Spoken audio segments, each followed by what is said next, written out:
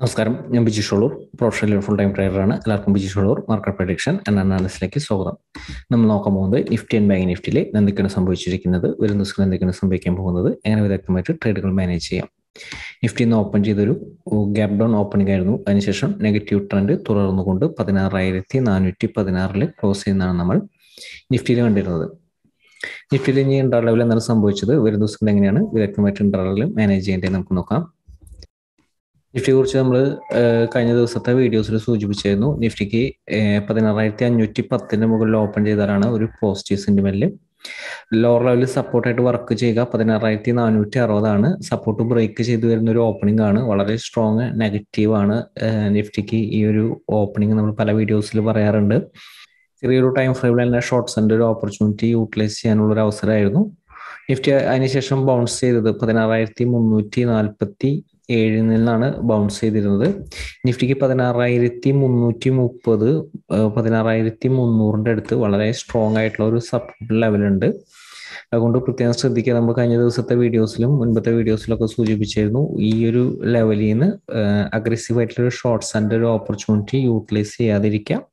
ഒന്ന് രണ്ട് ദിവസം ഈ ഒരു ലെവൽ ടെസ്റ്റ് ചെയ്തതിന് ശേഷം വീണ്ടും ബ്രേക്ക് ചെയ്യുമ്പോഴായിരിക്കണം അല്ലെങ്കിൽ ഇതിന്റെ താഴത്തേക്ക് പതിനാറായിരത്തി മുന്നൂറിന്റെ താഴത്തേക്ക് ഒരു ഹോളി നിലനിർത്തിയാലാണ് ഒരു സാധ്യത ഇനി താഴത്തേക്ക് ഒരു സാധ്യത വരുന്നത്. അല്ലെങ്കിൽ ഈ ഒരു ലെവലിൽ നിന്ന് താൽക്കാലികമായിട്ടുള്ള ഒരു ബൗൺസ് ഇൻട്രാഡയിൽ ബൗൺസ് നടത്താനായിട്ടുള്ളൊരു സാധ്യത ഉള്ളൊരു ഏരിയ ആണ്.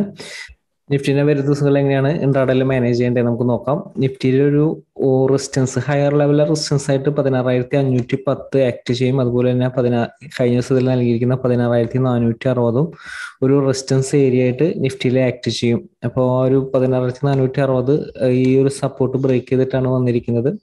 ഇത് തന്നെയാണ് വരും ദിവസങ്ങളിലെ ഒരു റെസിസ്റ്റൻസ് ആയിട്ട് ആക്ട് ചെയ്യുന്നത്. ലോവർ ലെവലിൽ സപ്പോർട്ടായിട്ട് പതിനാറായിരത്തി മുന്നൂറ്റി അൻപതാണ് നിഫ്റ്റി ഒരു കൺസോൾട്ടേഷൻ നിലനിൽക്കുന്ന ഈ ഒരു ലെവലിലാണ് നിഫ്റ്റിയുടെ അടുത്തൊരു സപ്പോർട്ട് വർക്ക് ചെയ്യുക.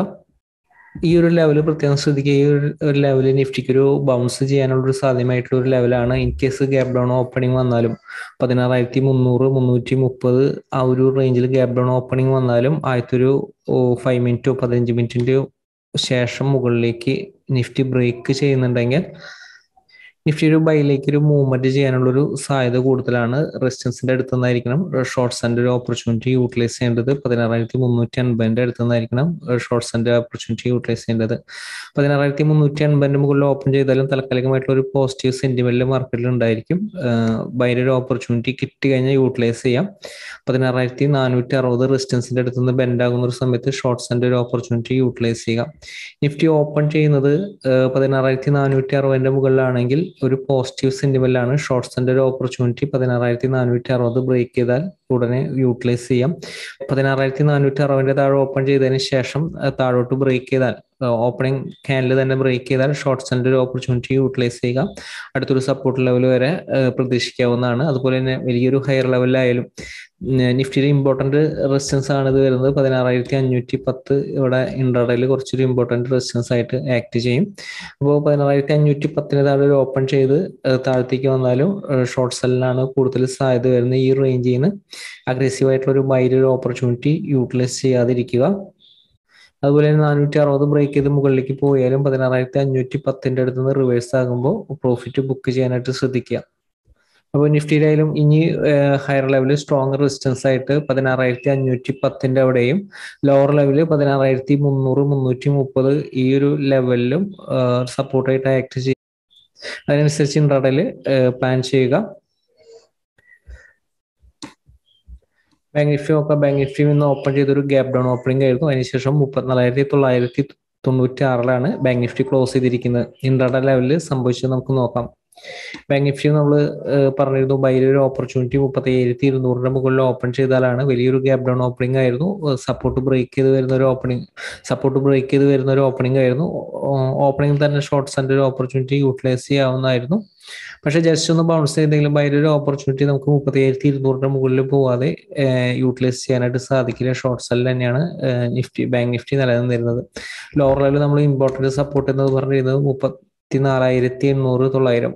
അപ്പോൾ നിഫ്റ്റിയിലെ പോലെ തന്നെ ഈ ഒരു ലെവൽ വളരെ ഇമ്പോർട്ടന്റ് ലെവലാണ് ഇവിടുന്ന് ഒരു ബൗൺസ് ചെയ്യാൻ സാധ്യമായിട്ടുള്ള ഒരു ലെവലാണ് അഗ്രസീവ് ആയിട്ടുള്ള ഷോർട്ട്സിന്റെ ഒരു ഓപ്പർച്യൂണിറ്റി ഈ ഒരു റേഞ്ചിൽ ഇപ്പോൾ വരും ദിവസങ്ങളിലായാലും അഗ്രസീവ് ആയിട്ടുള്ള ഷോർട്ട്സിന്റെ ഒരു ഓപ്പർച്യൂണിറ്റി യൂട്ടിലൈസ് ചെയ്യാതിരിക്കുക. ഈ ഒരു ലെവലിലൊക്കെ പൊസിഷൻസ് ഷോർട്ട്സിന്റെ ഒരു പൊസിഷൻ ഉണ്ടെങ്കിൽ എക്സിറ്റ് ചെയ്യുക. ഹയർ ലെവലിൽ നിന്ന് പൊസിഷൻസ് ആഡ് ചെയ്യുക. ഹയർ ലെവൽ റെസിസ്റ്റൻസ് ആയിട്ട് മുപ്പതായിരത്തി ഇരുന്നൂറ് തന്നെ ആക്ട് ചെയ്യും. മുപ്പതായിരത്തി ഇരുന്നൂറിന്റെ താഴെ ഓപ്പൺ ചെയ്ത് കഴിഞ്ഞാൽ വീക്ക്നെസ് ആണ്. ഷോർട്ട്സിന്റെ ഒരു ഓപ്പർച്യൂണിറ്റി വന്നു കഴിഞ്ഞാൽ യൂട്ടിലൈസ് ചെയ്യുക. മുപ്പത്തിയായിരത്തി ഇരുന്നൂറിന്റെ മുകളിലാണെങ്കിൽ ശ്രദ്ധിക്കണം. ചിലപ്പോൾ ബൗൺസ് ചെയ്യാൻ സാധ്യതയുണ്ട്. ഈ ലെവലിൽ നിന്ന് ബൈലൊരു ഓപ്പർച്യൂണിറ്റി കിട്ടി കഴിഞ്ഞാൽ യൂട്ടിലൈസ് ചെയ്യാവുന്നതാണ്. ഹയർ ലെവലിലേക്ക് അടുത്തൊരു റെസിസ്റ്റൻസ് വരുന്നത്. ഈ ഒരു ഹൈ ആണ് വരുന്നത്. മുപ്പത്തി മുപ്പത്തയ്യായിരത്തി നാനൂറാണ് അടുത്തൊരു റെസിസ്റ്റൻസ് ആയിട്ട് ആക്ട് ചെയ്യുക. സ്ലൈറ്റ് ഗ്യാപ്പ് അപ്പ് ഓപ്പണിംഗ് ആണ്. മുപ്പത്തയ്യായിരത്തി അൻപതിന്റെ മുകളിലാണെങ്കിലും പോസിറ്റീവ് ആണ് സെന്റിമെന്റിൽ അടുത്തൊരു റെസിസ്റ്റൻസ് വരെ പോകാനുള്ള ഒരു സാധ്യത. അതുപോലെ തന്നെ മുപ്പത്തയ്യായിരത്തി അൻപതിന്റെ താഴെ ഓപ്പൺ ചെയ്ത് കഴിഞ്ഞാൽ വീക്ക്നെസ് ആണ്. ഷോർട്ട്സിന്റെ ഒരു ഓപ്പർച്യൂണിറ്റി വന്നാൽ യൂട്ടിലൈസ് ചെയ്യുക.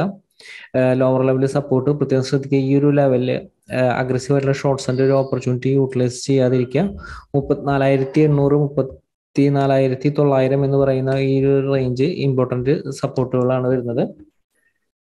ഗ്യാപ് ഡൗൺ ഓപ്പണിംഗ് ആയാലും ചിലപ്പോൾ ഒരു ബൗൺസ് ചെയ്യും. ലോവർ ലെവലിലേക്ക് വന്നാലും ബൗൺസ് ചെയ്യും. തിരിച്ചൊരു ഓപ്പണിംഗ് റേഞ്ച് മുകളിലോട്ട് ബ്രേക്ക് ചെയ്യുമ്പോൾ വളരെയധികം ശ്രദ്ധിക്കണം. നിഫ്റ്റിയിലായാലും ബാങ്ക് നിഫ്റ്റിയിലും ഇത്ര ലെവലുകൾ ഫോളോ ചെയ്ത് മാർക്കറ്റിലെ ട്രെൻഡിൽ നിലനിൽക്കാനായിട്ട് ശ്രദ്ധിക്കാം. മാർക്കറ്റിലെ വലിയ അവസരമായിട്ട് നമുക്ക് വരും. ദിവസത്തിൽ വീണ്ടും കാണാം. എല്ലാവരും വിലയേറെ ഷെയറുകളും കമ്പനികളും പ്രതീക്ഷിക്കുന്നു. എല്ലാവർക്കും നന്ദി.